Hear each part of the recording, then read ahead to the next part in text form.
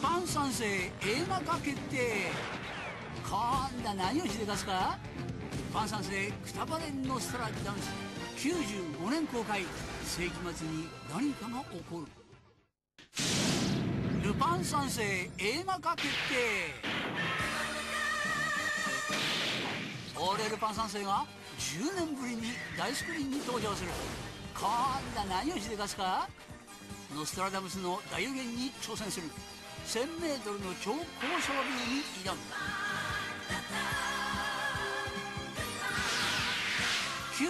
95年公開来年は暴れまくるぜ